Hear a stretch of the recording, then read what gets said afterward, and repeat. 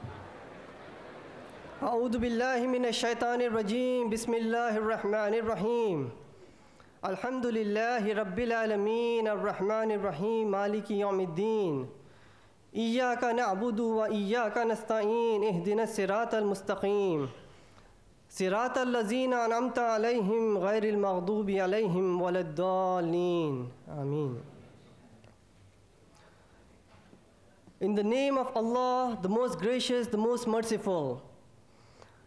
Dr. William Campbell, Dr. Zakir Naik, Dr. Mazakas, Dr. Jamal Badawi, Dr. Samuel Nauman, and Mr. Sam Shamoun. Distinguished guests, ladies and gentlemen, Assalamu alaikum wa rahmatullahi wa barakatuhu. Peace and blessings of Almighty Allah be upon all of you. On behalf of the organizers, the Islamic Circle of North America, I, Sayyid Sabil Ahmed, welcome all of you to this unique event, a dialogue on the topic, the Quran, the Bible in the light of science. Again, on behalf of Dr. Campbell, Dr. Zakir Naik, Islamic Circle of North America, this dialogue is being held in a spirit of friendship, understanding each other's viewpoints. A brief introduction of ICNA's activities, Islamic Circle of North America.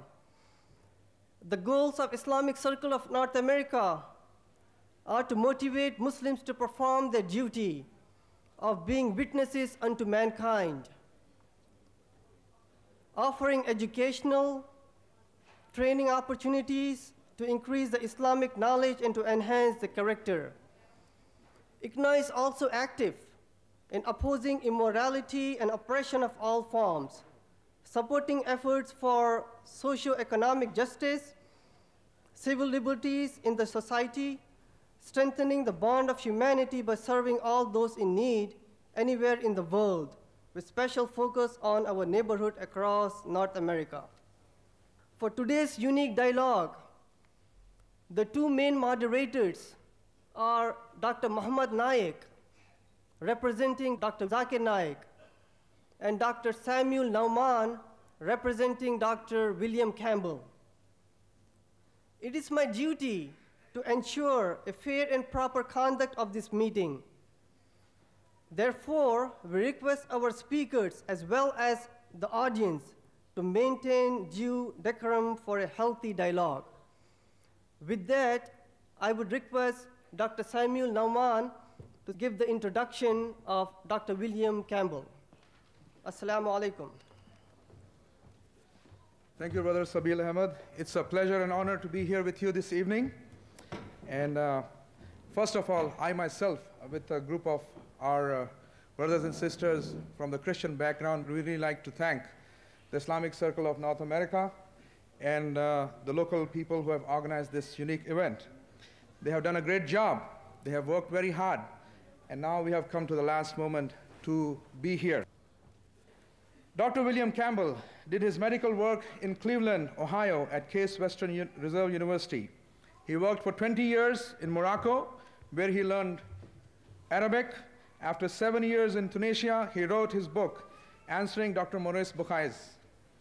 He is a convinced Christian who likes to explain the Injil or the gospel to everyone. At age 74, Dr. Campbell is retired with 10 grandchildren. And we are really thankful and we are really happy to be here with you tonight. Thank you.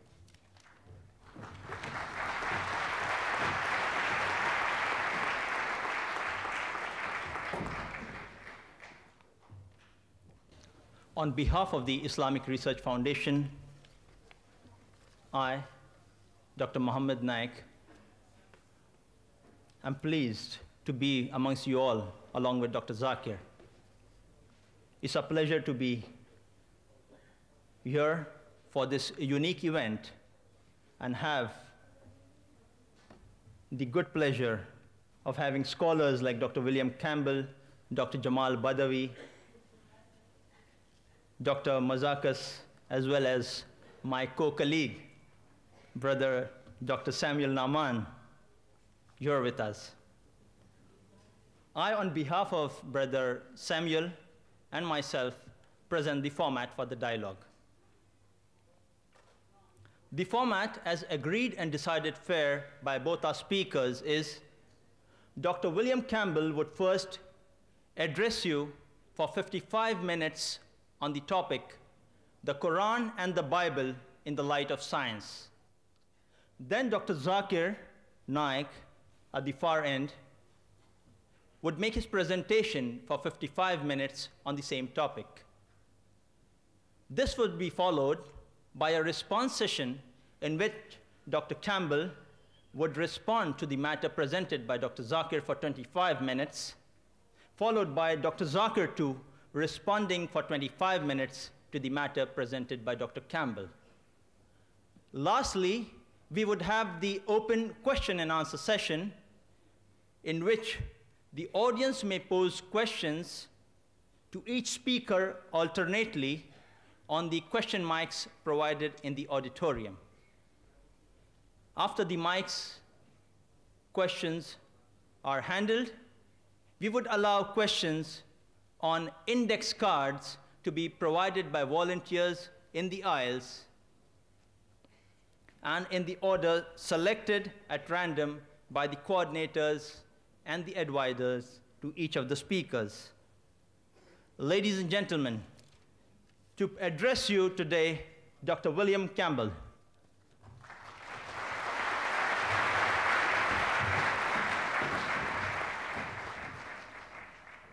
Greeting to Dr. Naik, who came, almost surely came the farthest.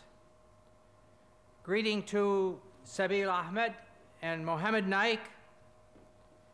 And greeting to the organizing committee. Calling this the ultimate dialogue is a bit of an exaggeration, but it is good advertising. And greetings to you, the audience. I'd like to also bring greetings in the name of Yahweh, or better known as Jehovah, the great creator God who loves us. I wish to start by speaking about words. Tonight we are going to speak about the words of the Bible and the words of the Koran. The scholars of modern linguistics tell us a word, a phrase, or sentence means what it meant to the speaker and the person or crowd of people listening. In the case of the Koran, what it meant to Muhammad and the, those listening to him in the case of the Bible, what it meant to Moses or Jesus or those listening to them. To check this, we have the context of all the usages in the Bible or the Koran. In addition, there is the poetry and letters of that century. For the Gospel, the first century AD. For the Koran, the first century of the Hijra. If we are going to follow the truth, we may not make up new meanings. If we are seriously after truth, there are no permissible lies. Here is an example of what I'm talking about. You can have the first slide here.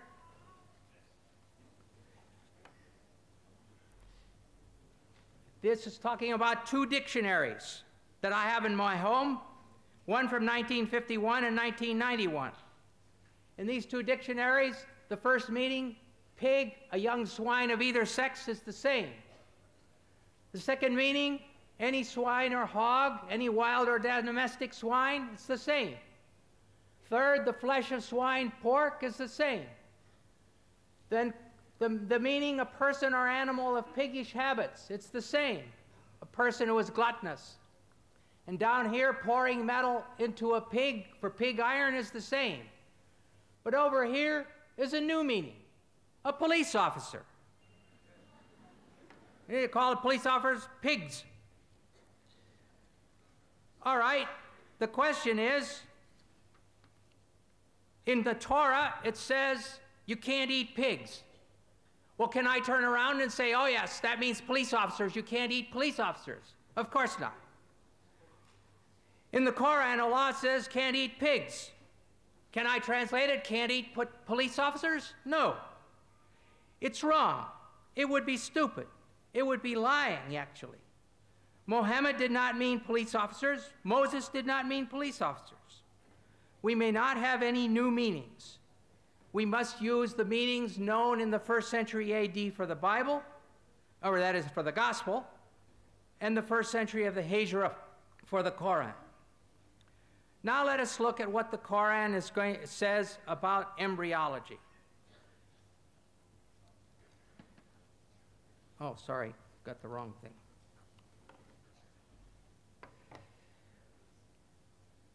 It has been said that the idea of the embryo developing through stages is a modern one, and that the Koran is anticipating modern embryology by depicting differing stages.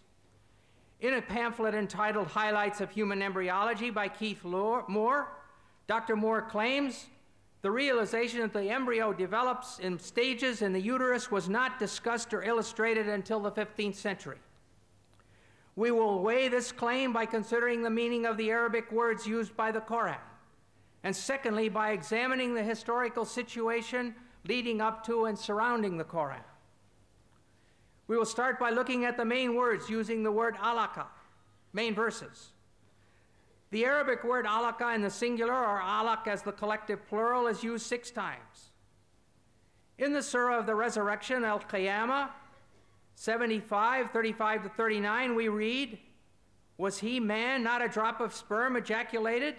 Then he became alaka, and God shaped and formed and made of him a pair, the male and the female. In the Surah of the Believer, Al Mu'min, 4067, it says, He it is who created you from dust, then from a sperm drop, then from a leech like clot, alaka, then brings you forth as a child, that perhaps you may understand.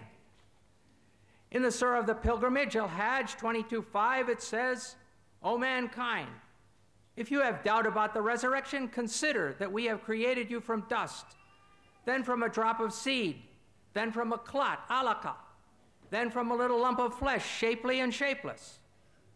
And finally, the fullest treatment is uh, in the Surah of the Believers, Al Mu'minun 23, 12 to 14, which reads, Verily, we created man from a product of wet earth, then placed him as a drop of seed in a safe lodging.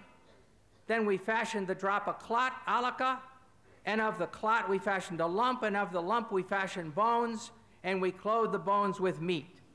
Then we produced it as another creation. And here you have the stages according to the Koran. Nutfa sperm, alaka clot, Mudaga, piece of meat. Adam, bones. And the fifth stage, dressing the bones with muscles. Over the last hundred plus years, this word alaka has been translated as follows. There's 10 translations here. I'm not going to read them all. Three are in French, where it says un gomo de sang, or a clot of blood. Three versions, five versions are English, where it's either clot or leech-like clot. One version is in Indonesian, at the bottom there, Segumpal Darah, lump of or clot of blood. And the last one is Farsi, Hun Basta, a clot of blood. As every reader who has studied human reproduction will realize, There is no stage as a clot during the formation of a fetus, so this, so this is a very major scientific problem. In the dictionaries of Ur and Abdunnoor, the only meanings given for alaka in this feminine singular are clot and leech. And in North Africa, both of these meanings are still used. Many patients have come to me to ask for a clot to be removed from their throat. And many women have come to me and told me their period didn't come. When I say, I'm sorry, I can't give you medicine to bring your period because I believe that's a baby, they would say, Mazel dim, it's still blood. So they were understanding these ideas of the Koran. Lastly, we must consider the first verses which came to Muhammad in Mecca. These are found in the 96th surah called Alaq, clots, from the very word that we're studying. In 96.1, 2, we read, proclaim, in the name of your Lord who created, created man from alaq. Here the word is in the collective plural. This form of the word can have other meanings because alaq is also the derived verbal noun of the verb alika.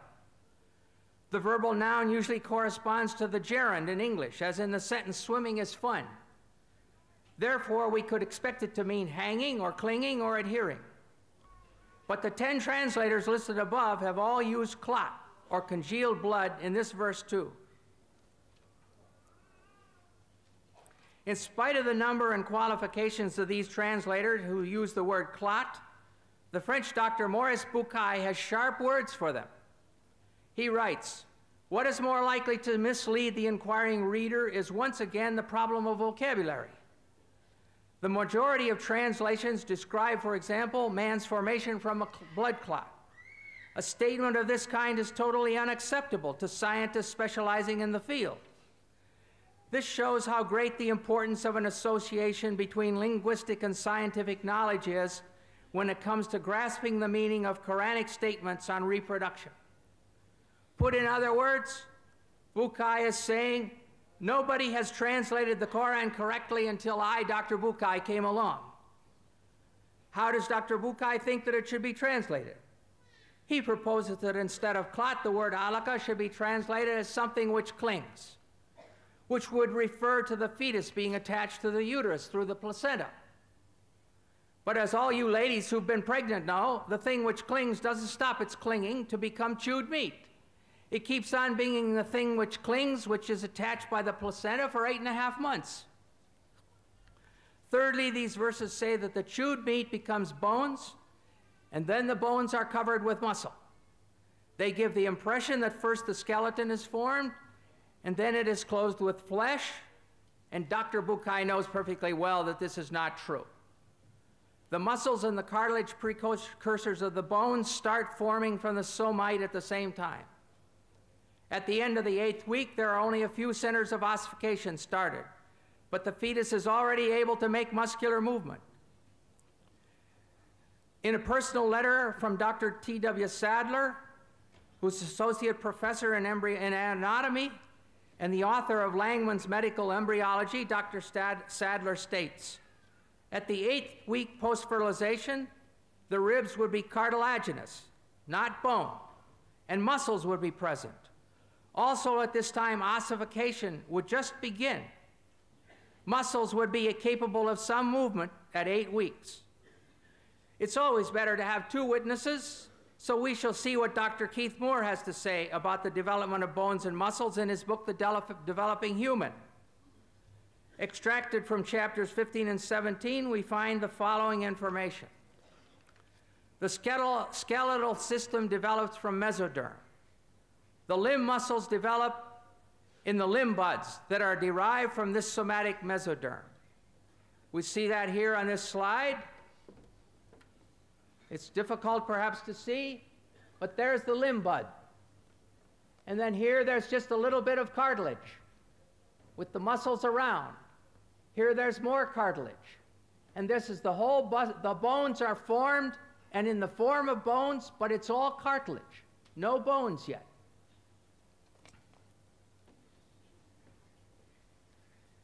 This second slide shows how it forms. Here's, a, here's the cartilage. So just the bone is, looks like cartilage. And then it starts to have some calcium deposited. and then it starts to have ossification and bone form.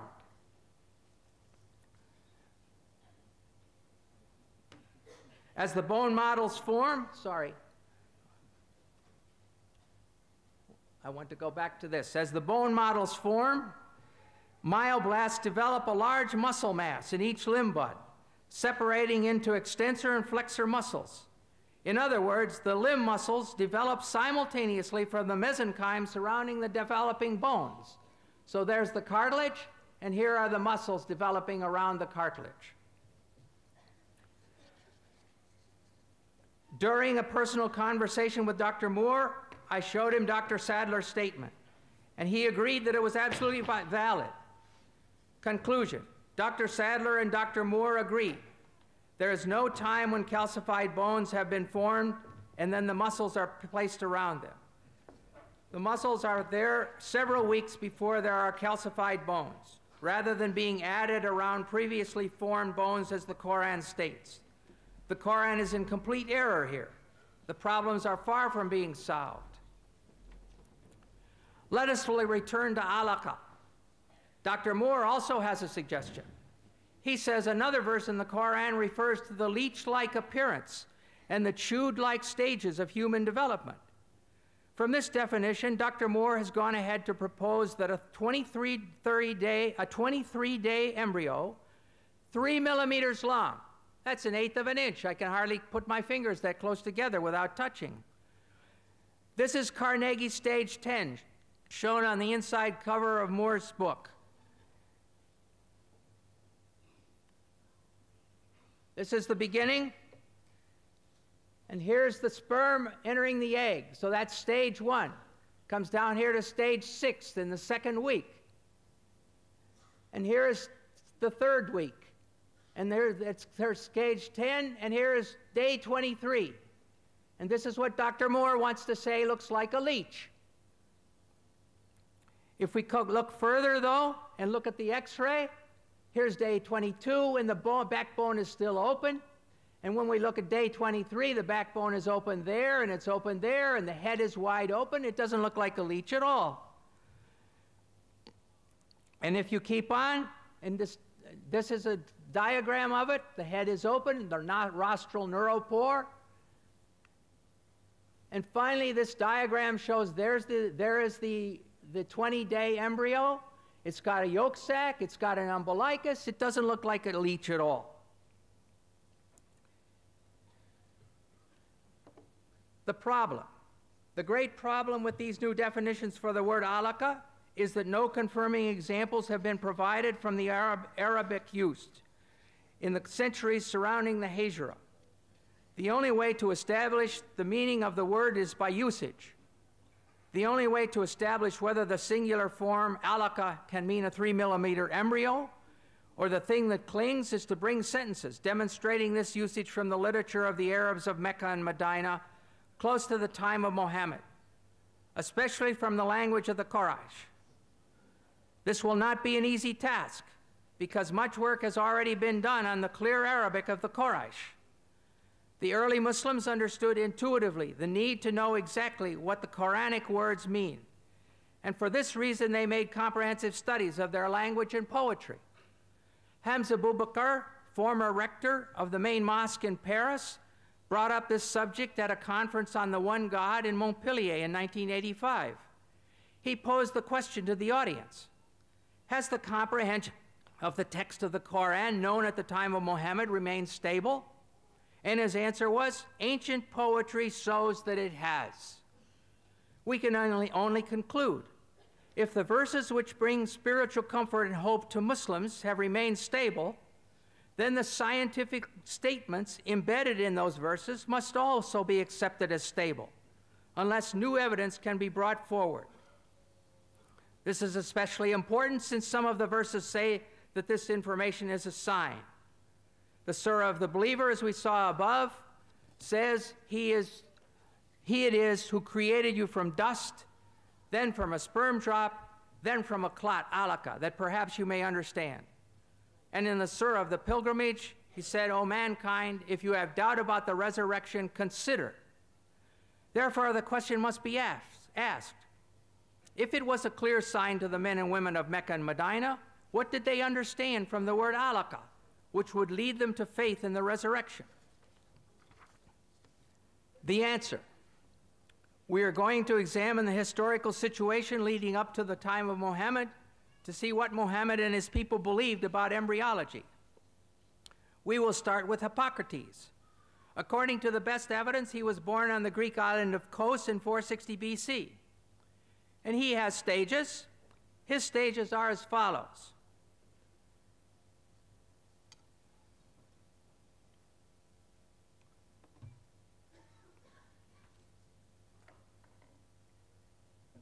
The sperm is a product which comes from the whole body of each parent. Weak sperm coming from the weak parts, and strong sperm from the strong parts. Then he goes ahead and talks about the coagulation of the mother's blood. The seed, embryo, then is contained in a membrane. Moreover, it grows because of its mother's blood, which descends to the womb. For once a woman conceives, she ceases to menstruate. Then, about flesh, he says at this stage, with the descent and coagulation of the mother's blood, flesh begins to form with the, be formed with the umbilicus. And lastly, bones, he says, as the flesh grows, it is formed into distinct members by breath. The bones grow hard like a, and send out branches like a tree. Next, we will look at Aristotle.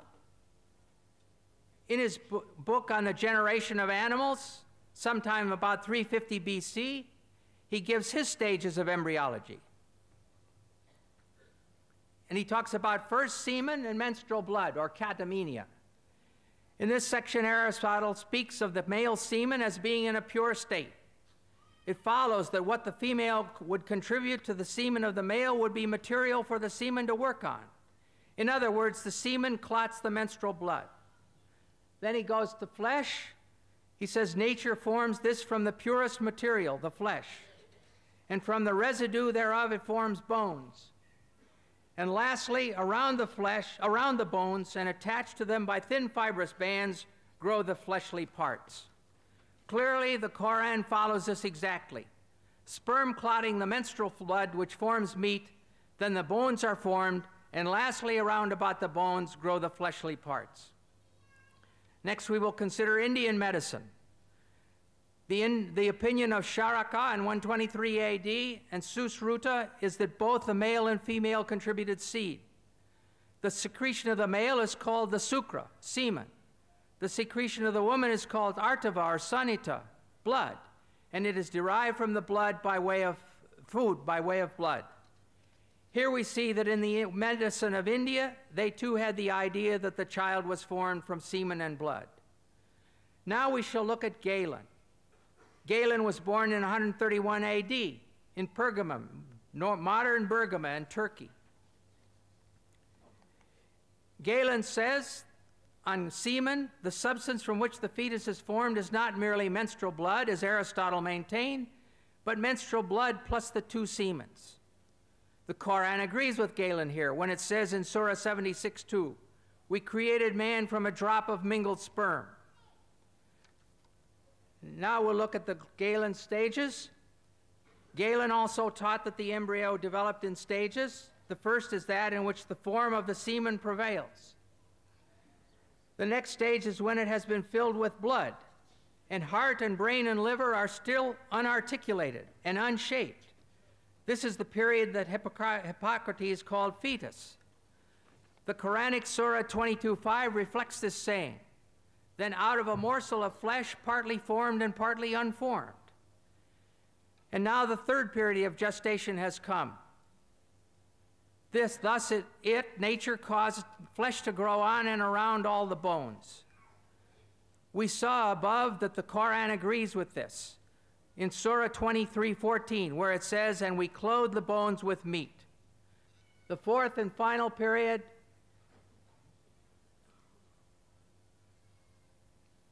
sorry, the fourth and final period is at the stage when all the parts of the, in the limbs have been differentiated.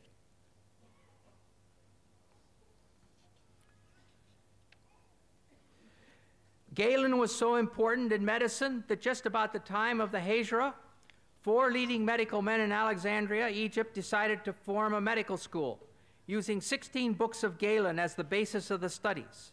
This considered, continued up to and including the 13th century. We must now ask ourselves what was the political, economic, and medical situation in Arabia at the time of Mohammed? From the Hadramaut in Yemen, the caravans of the spice trade passed north through Mecca and Medina and then reached into all of Europe. In North Arabia, in about 500 AD, the Ghassanids took over, and by 528, they controlled the Syrian desert over to the outskirts of Medina. Syriac, a form of Aramaic related to Arabic, was their official language. As early as 463, the Jews translated the Torah and Old Testament from Hebrew into Syriac. The British Museum has a copy. This made it available to the Ghassan, who were Christians, and to the Jewish tribes in Arabia. During this time, Sergius al-Rasini, who died in Constantinople in 536, one of the earliest and greatest translators from Greek into Syriac, translated various works on medicine, including 26 works of Galen. This made them available in the kingdom of Khosrow I in Persia and to the Ghassan tribe whose influence extended to the outskirts of Medina. Khosrow I, Arabic Kisra, king of Persia, was known as Khosrow the Great.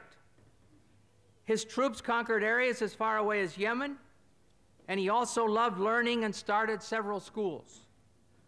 The school of Jundishapur became, during Khosrow I's long reign of 48 years, the greatest intellectual center of the time. Within its walls, Greek, Jewish, Nestorian, Persian, and Hindu thought and experience were freely exchanged. Teaching was done largely in Syriac, from Syriac translations of Greek texts. This meant that Aristotle, Hippocrates, and Galen were readily available when the medical school at Jundishapur was operating during his reign. The next step was that the conquering Arabs compelled the Nestorians to translate their Syriac texts of Greek medicine into Arabic. The translation from Syriac to Arabic was easy, as the two languages had the same grammar. Concerning the local medical situation during Muhammad's life, we know there were physicians living in Arabia during this period. Harith bin Khalada was the best educated physician trained in the healing arts. He was born about the middle of the 6th century at Taif in the tribe of Bani Thaqif. He traveled through Yemen and then Persia, where he received his education in the medical sciences at the great medical school of Jundishapur, and thus was intimately acquainted with the medical teachings of Aristotle, Hippocrates, and Galen. Having completed his studies, he practiced as a physician in Persia, and during this time he was called to the court of King Khosrow, with whom he had a long conversation. He came back to Arabia about the beginning of Islam and settled down at Taif. While there, Abu al Khair, a king of Yemen, came to see him in connection, connection with a certain disease, and on being cured, rewarded him with much money and a slave girl. Though Harith bin Khalada did not write any book on medicine, his views on many medical problems are preserved in his conversation with Khosrow. About the eye, he says that is constituted of fat, which is the white part. About the, and then the second is constituted with water, which is the black part, and of wind, which constitutes the eyesight. Well, these things we know to be wrong now, but this was Greek thought. All this goes to show the acquaintance of Harith with the Greek doctors. Summarizing the situation in a few words in his book, Histoire de la Médecine Arabe, Dr. Lucien Leclerc writes Harith ben Khalada studied medicine at Jundishapur, and Muhammad owed to Harith a part of his medical knowledge. Thus with, with the, thus, with the one as well as the other, we easily recognize the traces of Greek medicine. Sometimes Muhammad treated the sick, but in the difficult cases, he would send the patients to Harith. Another educated man, person around Muhammad was Nadir bin Harith.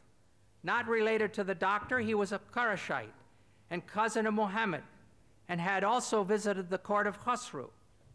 He had learned Persian and music, which he introduced among the Quraysh at Mecca. However, he was not sympathetic to Muhammad, mocking some of the stories in the Koran. Muhammad never forgave him for this, and when he was taken prisoner at the Battle of Badr, he caused him to, to be put to death. In summary, we see that one, Arabs living in Mecca and Medina in 600 had political and economic relations with people from Ethiopia, Yemen, Persia, and Byzantine. A cousin of Muhammad knew Persian well enough to do his musical studies in it. Three, the Ghassan tribe, which ruled the Syrian desert over to the gates of Medina, used Syriac, one of the main languages used to teach medicine in Jundi Shapur, as their official language. An ill king of Yemen came to Taif to consult the physician Harith ben Kalada, who had been trained where? At Jundi Shapur, the best medical school in that world, and to whom Muhammad sometimes sent patients. Five, during Muhammad's lifetime, a new medical school was established in Alexandria, using the 16 books of Galen as their texts. This all shows that there was ample opportunity for Muhammad and the people around him to have heard of the embryological theories of Aristotle, Hippocrates, and Galen when they went to seek treatment from Harith ben Kalada and other local doctors. Thus, when the Quran says in the late Meccan Surah of the Believer, 4067, He it is who created you from dust, then from a sperm drop, then from a leech like clot, that perhaps you may understand. And then in the Surah of the Pilgrimage, O mankind, if you have doubt about the resurrection, consider what we have created, that we have created you from dust. It is correct for us to ask again what were they to understand? What were they to consider? And here are the Quranic stages again Nutfa sperm, alaka clot, mudaga piece of meat, adam bones, and five dressing the bones with muscles. The answer is very clear. They were understanding and considering that which was common knowledge, the embryological stages as taught by the Greek physicians. I don't mean that Mohammed's listeners all knew the names of the Greek physicians, but they knew the embryological stages of the Greek physicians. They believed that the male sperm mixed with the female menstrual blood to cause it to clot, and this, be- this became the baby. Two, they believed there was a time when the fetus was formed and unformed. Three, they believed the bones formed first and then were covered with muscle. Allah was using that common knowledge as a sign encouraging the listeners and readers to turn to Him. The trouble is that this common knowledge was and is not true. Arab physicians after Muhammad. We must now look at two well known physicians from the period after Muhammad. Obviously, they had no effect on the Koran, but they demonstrated that faith in the embryological ideas of Aristotle, Hippocrates, and Galen continued among the Arabs right up to the 1600s. If the correct translation of alaka is leech like substance, as modern Muslims like Shabir Ali claim, there is no place where these post Quranic doctors said so. In fact, it's just the opposite. The ideas of these Greek physicians were being used to explain the Koran, and the Koran was quoted to enlighten the meaning of the Greek physicians. The human being takes its origin from two, this is speaking about uh, Ibn Sina or Avicenna. The human being takes its origin from two things the male sperm, which plays the part of factor, the female sperm, first part of the menstrual blood, which provides the matter. Thus, we see that Ibn Sina gave the female semen exactly the same role that Aristotle had assigned to the menstrual blood. It is difficult to overstate the importance of Ibn Sina as a scientific and philosophical authority for the pre modern Europeans. Then we're going to look at Ibn Qayyim al Jawziyah. Ibn Qayyim took full advantage of the agreement between Quranic revelation and Greek medicine. This is not very clear, probably, but the Hippocrates is in purplish, and the Quran is in bold type, green, and the Hadith is in purple, and commentaries are in red, and his own thoughts in sort of a blue green. So it starts out, he's giving, he says, Hippocrates said in the third chapter of Kitab al Jinnah, al Ajinnah, the semen is contained in a membrane and it grows because of the blood of its mother, which descends to the womb. Some membranes are formed at the beginning, others after the second month, and others in the third month. And this phrase about the blood descending to the womb, we saw it when we looked at Hippocrates' slide. That is why God said, here the Quran is mentioned, He creates you in the womb of your mothers by one formation after another in three darknesses. That's Quran 39 6. Then he gives his own ideas. Since each of these membranes has its own darkness, when God mentioned the stages of creation and transformation from one state to another, he also mentioned the darknesses of the membranes. Most commentators explain, and here are the words of the commentators it is the darkness of the belly, and the darkness of the womb, and the darkness of the placenta. In a second example, we read Hippocrates said, The mouth opens up spontaneously, and the nose and ears are formed from the flesh. The ears are opened, and the eyes, which are filled with a clear liquid. The prophet used to say, I worship him who made my face and formed it and opened my hearing and eyesight and so, forth. Here we look at Hippocrates again, and there in the second stage is the same thing we just read. Ibn al-Qayyim is quoting Hippocrates and speaks of the mother's blood descends around the membrane. He could do this, as we have seen, because the educated people of Muhammad's time were familiar with Greek medicine. However, what is important for us here today to realize is that there is no place where the Quran corrected Greek medicine. There is no place where Ibn Qayyim was shouting, Hey, you guys, you've got it this all wrong. The correct meaning of alaka is that which clings or leech like substance. On the contrary, Ibn Qayyim was demonstrating the agreement between the Quran and the Greek medicine, their agreement in error. A final witness is the commentary of Baydawi in 1200 AD. Here we have the commentary, we have the, the, uh, the, we have the Quran here, we have his, his commentary, and here it's been translated. And he says, Then from alaka, a piece of solid blood is his explanation of alaka. Alaka is underlined, that's from the Quran. And here's his explanation a piece of solid blood. Then he goes on, then from a piece of meat from the Quran. A piece of meat originally as much as can be chewed, and so forth.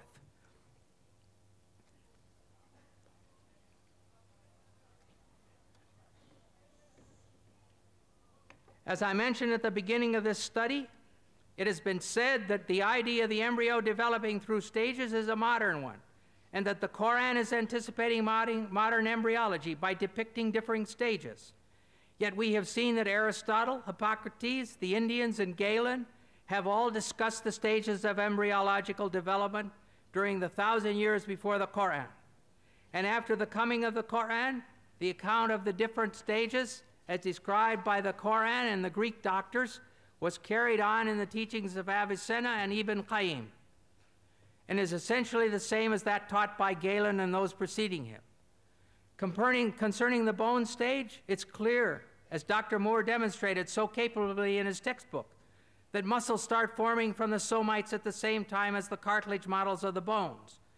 There's no bone stage where there's a skeleton sitting here and then and then the, the, the muscles are plastered around it. It's equally clear that alaka in the Quran means clot, and that the Quraysh who heard Muhammad speaking understood him to be referring to the menstrual blood as the female contribution to the developing baby. Therefore, we can conclude that during all these years, the Quranic verses on embryology, saying that man is created from a drop of sperm which becomes a clot, were in perfect accord with the science of the first century of the Hijra, of the time of the Quran. But when compared with the modern science of the 20th century, Hippocrates is in error, Aristotle is in error, Galen is in error, and the Koran is in error. They are all in serious error.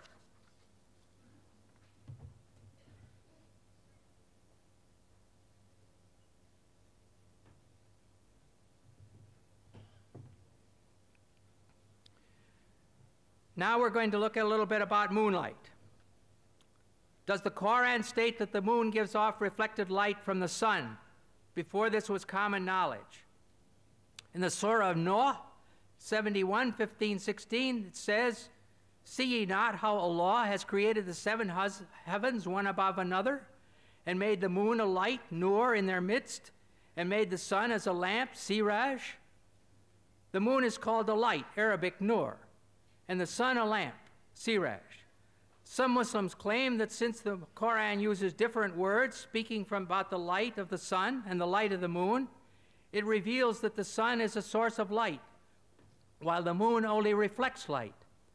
This claim is implied very strongly by Shabir Ali in his booklet Science in the Quran, and stated clearly by Dr. Zakir Naik in his video Is the Quran God's Word? as you will now see clearly.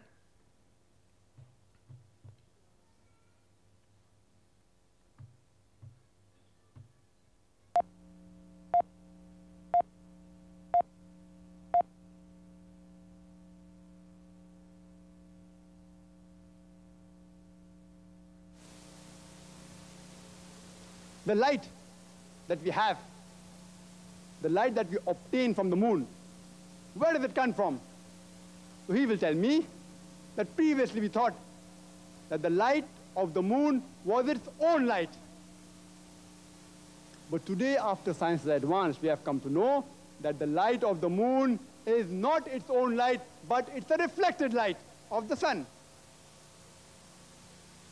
I will ask him a question.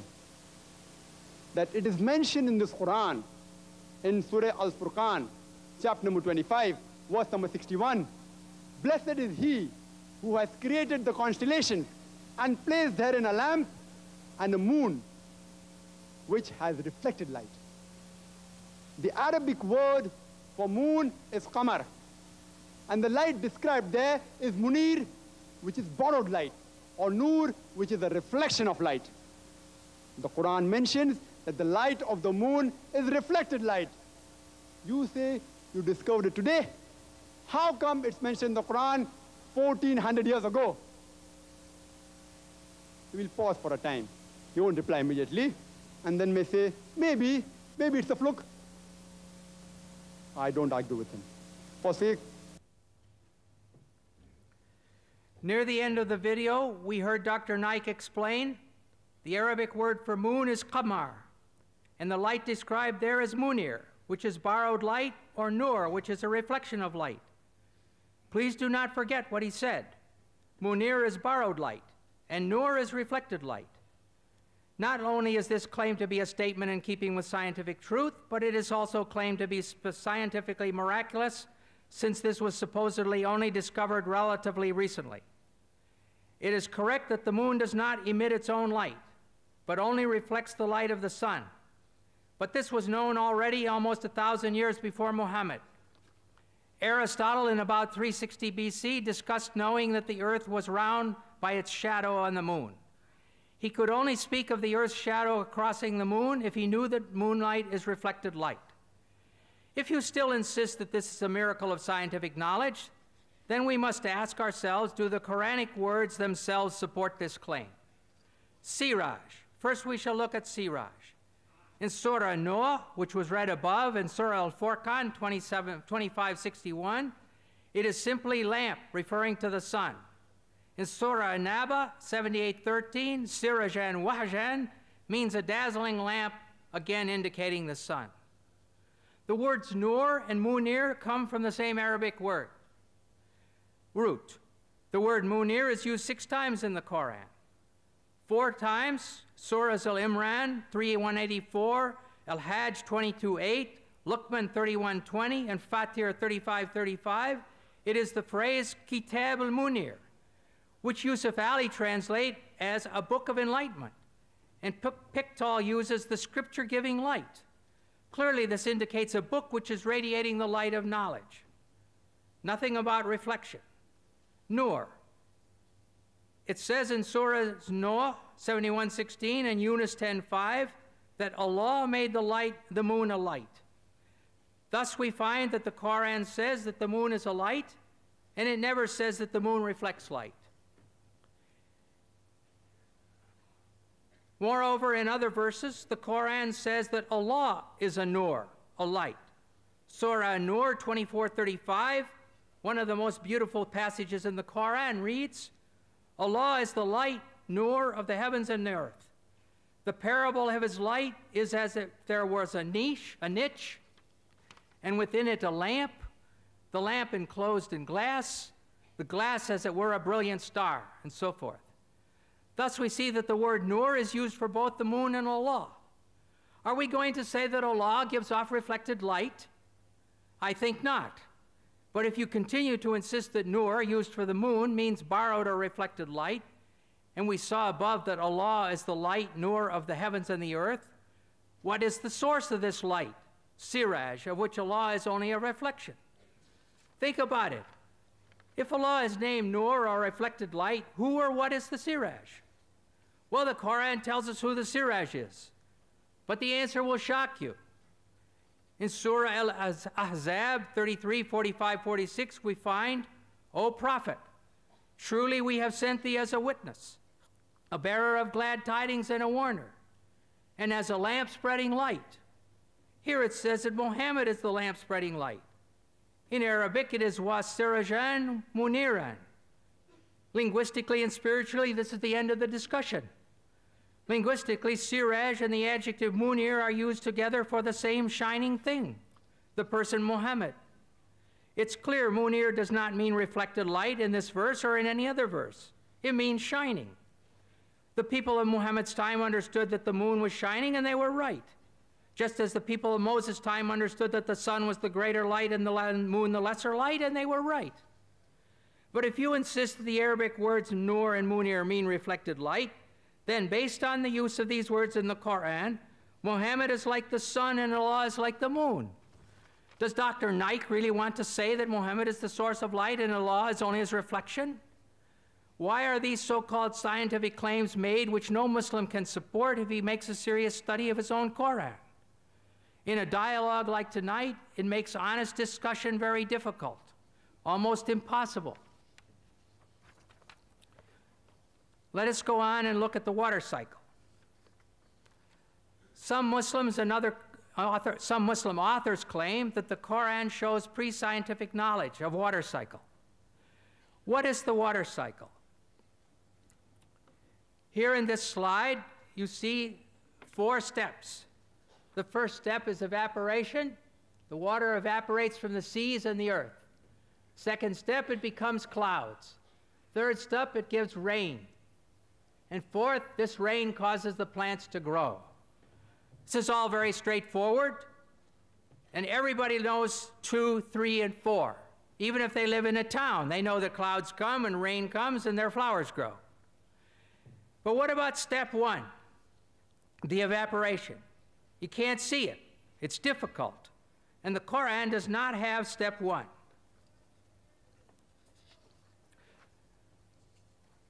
Now we're going to look at a prophet from the Bible, a prophet from 700 BC, prophet Amos, and he writes, He who made the Pleiades and Orion, who turns blackness into dawn and darkness darkest, darkens day into night, and then who calls off for the waters of the sea, stage one, and pours them out over the face of the land. Stage three. The Lord Yahweh is his name. And one other prophet is uh, Job